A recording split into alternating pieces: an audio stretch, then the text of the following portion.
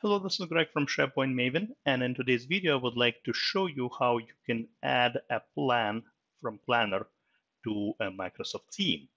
Uh, now, obviously, uh, if um, you are managing tasks in uh, a Planner, you can obviously uh, utilize the um, you know the, the, the Planner tool itself and manage tasks here. But let's face it, we all live in Teams these days, so it totally makes sense uh, to access the same plans in Microsoft Teams. So what I would like to show you is uh, how to add a plan from Planner to a Microsoft team.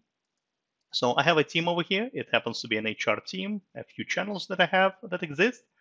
And uh, what I would like to do is add a plan. So you obviously need to add a plan within a given channel. So uh, that's what I have right here. Let's add it to general channel. We might as well. I hit the plus sign and essentially, I happen to have, because I used this recently, um, I happen to have the planner over here. But if you don't have it, if you don't see it in here, just type in planner and uh, the app will come up. And when you click on it, you have two choices. All right. So um, it uh, offers uh, to you to create a brand new plan, and you can do so. And uh, very important. So uh, it will actually create a plan in Planner for that particular group. So it will create a, a new plan uh, under the same Microsoft 365 group, under the same uh, under the same team that we have. Uh, or, you know, so obviously I can create a brand new one, or you can use an existing one. If you already have uh, a plan in here, uh, you see I have onboarding, which is actually part of the HR, you know, HR team already. I want to add it to my uh, to my team uh, from Planner. So here we go. You just click the drop down and essentially it pulls all the existing plans that already exist in Planner. And here we go. Um, that's an existing one. And uh, we might as well just post this announcement to uh, to our team. Here we go.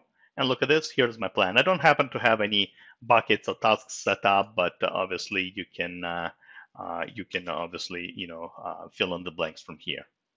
All right, and obviously, right, as you add uh, this plan, whether you create a new one or it's an existing one, it will always appear over here, uh, right, under, under your plans uh, within your Planner Hub.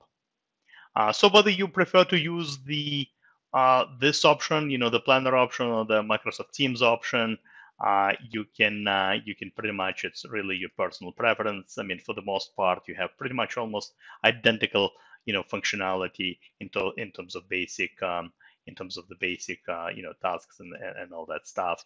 Uh, but obviously, for some maybe uh, uh, particular settings for you know if you want to change the behavior planner, etc., you obviously will need to navigate over here to change that. Uh, that's all I wanted to show you in this particular video. Hopefully you learned something new. As always, happy to see you on my blog, sharepointmaven.com, as well as my YouTube channel. Thank you very much. Have a great rest of the day. Goodbye.